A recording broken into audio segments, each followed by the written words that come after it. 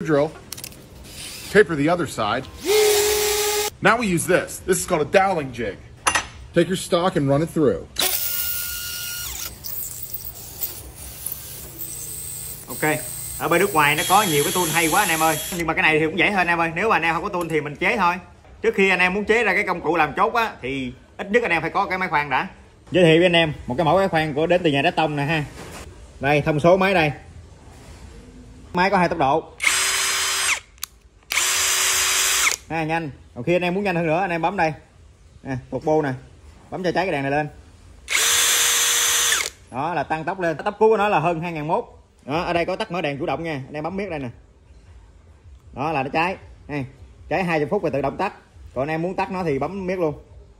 Tắt. Cái tính năng mà chống lại cổ tay anh em bấm đây nè. Đó cháy đèn lên là là là, là có nè. Ha còn anh em bấm đây tắt nè. Là hết đây anh em lấy khúc gỗ vậy nè. Rồi kẹp một miếng ở ngoài. Kẹp một miếng ở ngoài như vậy nha anh em.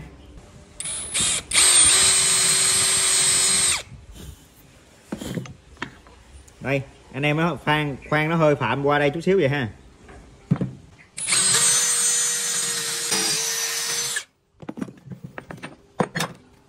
Đây à, anh em sẽ có gì có cái cây chốt nè. Nha, lấy máy mài mài hai cái đầu nó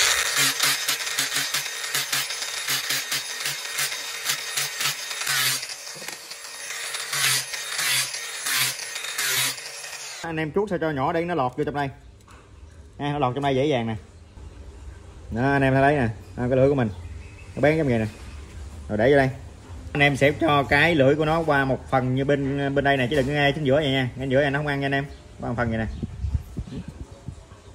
Rồi cái lưỡi này sẽ, sẽ che qua vậy để nó giữ cái cây chốt của mình luôn.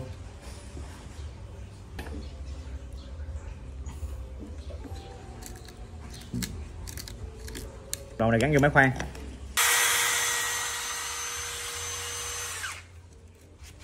Để vô.